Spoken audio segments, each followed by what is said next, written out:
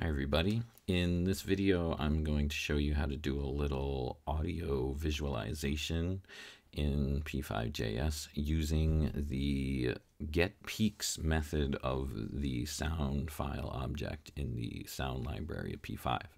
Now here in the reference of P5, uh, there is an object called p5.soundfile, and this is what we can use if we want to upload any kind of audio file, not any kind of audio file. Um, specifically, uh, we have options to upload uh, MP3s, OGGs, WAVs, and M4As. Uh, it does not support other types of audio files, but we're just going to upload an MP3.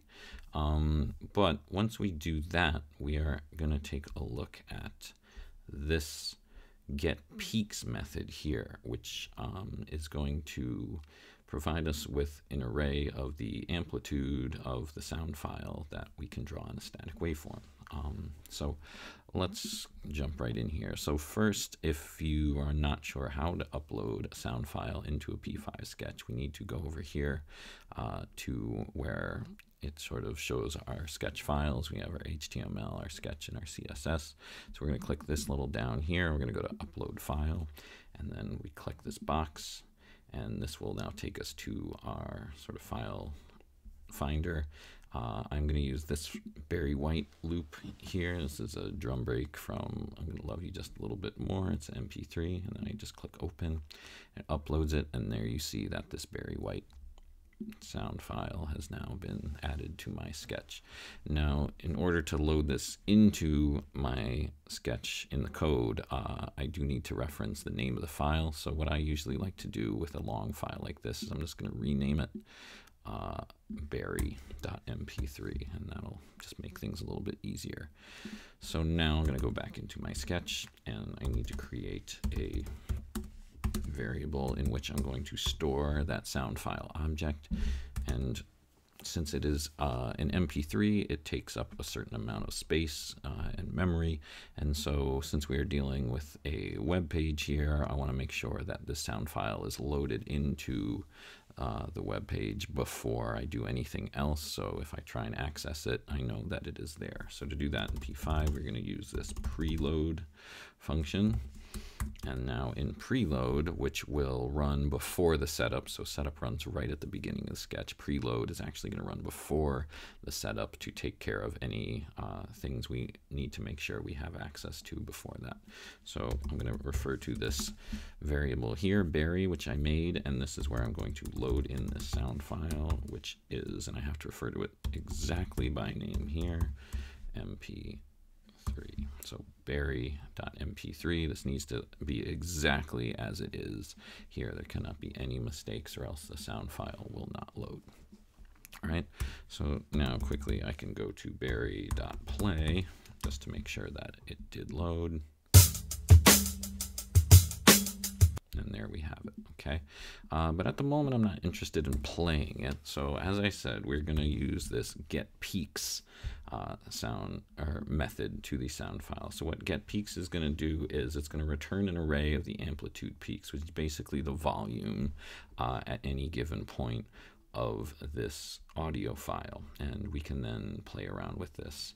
Now, the nice thing about this method is that we can provide exactly how big we want this array to be. So the default is five times the width of the browser, uh, which is pretty big and um, not as practical for what we want to do. But we can kind of specify exactly how many uh, things we want in this array, which we can then play around with. So the way we do this is um, I'm going to create another global variable here called peaks. And in peaks, in setup here, I'm going to write barry dot get peaks. Okay, and now for the argument, I am going to visualize this uh, this audio file. So I want to use the length of my canvas, so I'm just going to make it width. So that means that when it returns this array of all the different uh, audio or the amplitude points throughout this audio file, it's going to give me a total of, in this case, 400. So I will be able to visualize this sound wave through the entire canvas. Right, and then console.log, I am going to just log peaks and we can take a look at what that gives. So we press play. We don't hear it because I got rid of the the dot play method. But here you see this has a floating array here. And if we go down, we see these numbers here. So all these are going to be between 0 and 1 because uh, the amplitude data is sort of rendered in that way in P5. And I go through all the way. And it just gives me all these numbers between 0 and 1 all the way up to 399, which would be 400 uh, indices in this array. So now I am going to play around uh, and visualize what we have going on here. So I'm going to go into draw. And what I'm going to do is I'm just going to create a line for each uh, each piece of data in this array. So to go through that, I'm going to need a for loop. So let i equal 0, then i is less than peaks dot length, and then i plus plus. And so what I'm going to do is I'm going to make a line that represents each of the data here. So I'm going to do a line, and we're going to start it at uh, i. So we're going to start it at 0, so on the left side of the canvas. Okay. And then what we're going to do is we are going to do peaks i. Okay, uh, so really what I want to do here is I'm going to start it from the middle of the canvas and I want my line to go up in one direction and down in the other, but I'll kind of show you what this would look like. So I'm going to start in the middle, height divided by 1 plus peaks. Uh, and then we will do i again, and then this time we'll just do heights divided by 2. It's just, I'm going to kind of do this in steps so you can kind of see what's going on. So now I'm going to press play. And really all we see is a straight line going across. Now, I can kind of zoom in here, although even if I do, kind of make out some little things. Now, the issue with this is all these values are between 0 and 1, so I'm not really going to see much here. So what I want to do here is um, I want to multiply the number in peaks, each one of these by a certain value. So let's just say 100, okay? So that will then give me a value between 0 and 100 as opposed to 0 and 1, which is not going to show us much on here. So now if I go back and I press play, now we see something happening that looks a bit more like we want it to. Okay, so um, since they're mostly positive numbers, they're going down here on uh, the screen. But I want this to look a bit more like in regular audio waves. So I'm going to have these peaks going up, and then I'm just going to kind of mirror these peaks in the other y point on this line that I'm drawing. So I'm going to plus peaks on one side, I'm going to minus the peaks on the other. So I'm going to have them going in this way from the center of the canvas, this height divided by 2, and then I'm just going to kind of mirror that by going the opposite direction. So instead of plus peaks times 100, I'm going to do minus peaks times 100. And there, uh, so now we have a pretty good rendition of what this looks like. And just for the sake of contrast, I do, and let's I'll just play it once so we can kind of remember what it sounds like and all. So that's that audio file there that we have. Now just for contrast, I do have that same audio file loaded here into Audacity. So we can see, and maybe I'll pop out of here so we can kind of get them side by side. So if we compare now, we have a pretty good representation of this audio file that we've now drawn here in P5. Now, just to kind of play off that idea in Audacity, one more thing that I'm going to do with this is uh, I'm going to make a line that kind of goes across the canvas in real time so we can sort of see where in this audio file we are at any given moment while it is playing. Um, so to do that, you need another line.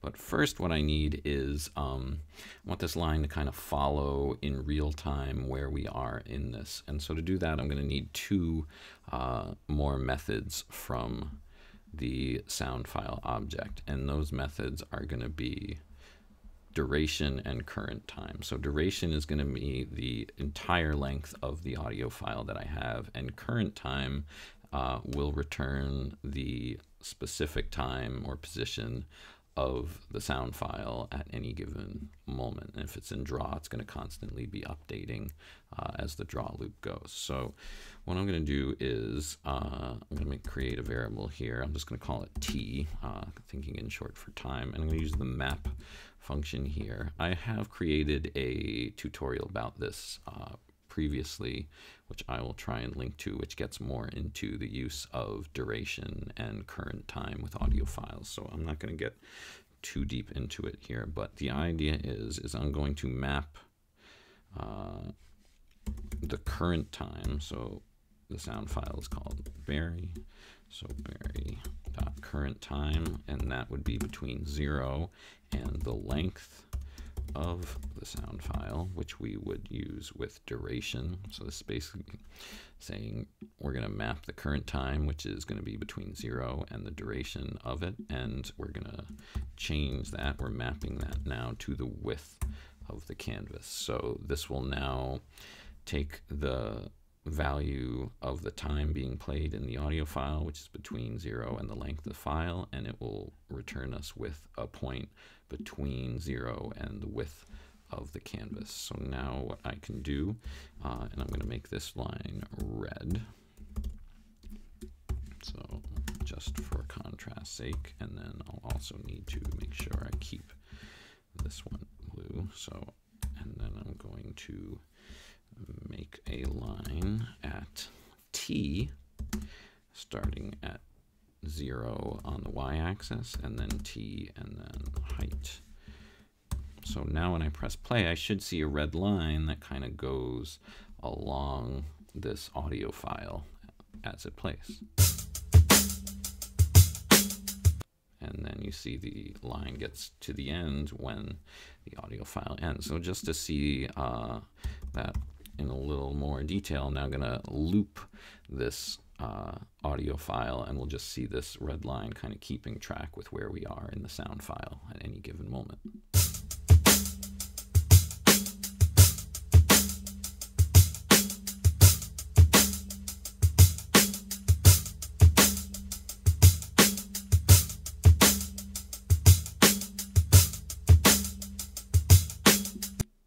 And that's it. So there you have it. That is uh, sort of an introduction to this get peaks method and there's a lot of fun stuff you can do playing around with this. Uh, I've been working with chopping up samples uh, and sort of visualizing them in that way uh, which maybe I'll get to some tutorials on in the future or at least post some of the things that I've been doing. But that is the basic idea of how you can visualize some audio data using the get peaks method